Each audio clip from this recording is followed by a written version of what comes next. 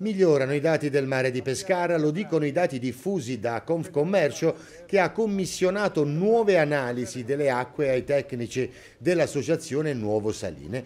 Nello specifico il presidente della SIB Confcommercio Riccardo Padovano ha posto l'accento anche sull'eccessivo clamore dato alla vicenda.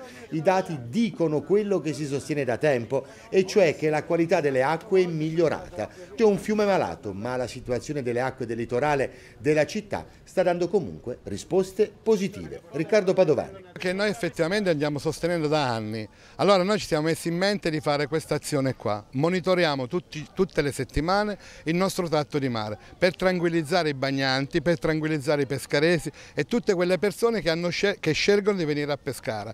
Non può essere un aspetto burocratico che a noi non ci consente di poter dare la tranquillità, la chiarezza ai bagnanti stessi. Abbiamo incaricato una società ambientalista a farci monitoraggio, abbiamo i dati, su via Balilla che sembrava che, che era una tragedia, invece stiamo sopra, ma non superiamo i 50 escheriacoli.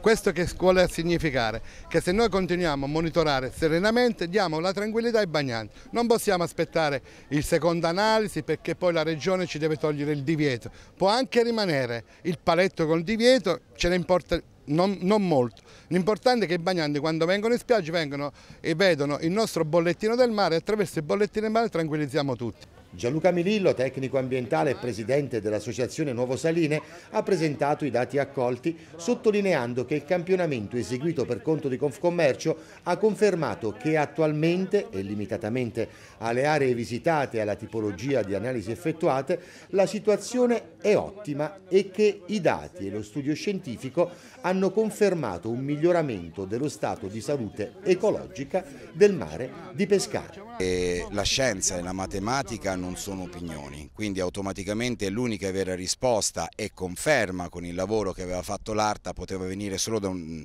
da, uno studio di tipo scientifico.